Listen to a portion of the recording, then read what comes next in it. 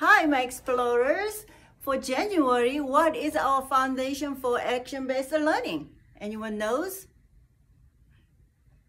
That's right.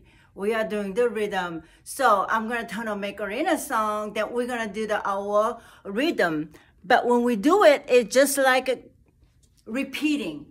Just like a pattern, you're doing the same thing, repeating. Okay, this is a Macarena month by Dr. Jean. Ready? Stand up, everyone. January, February, March, April, May, June, July, August, September, October, November, December. Then you turn around.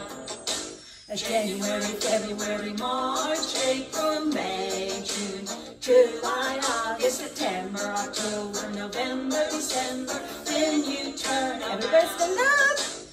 February, Why do we do our rhythm?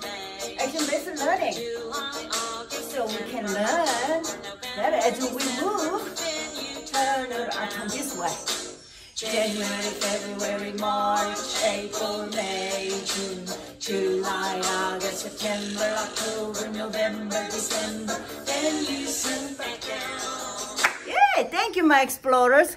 That's how we do our rhythm. Repeating. Have a great day.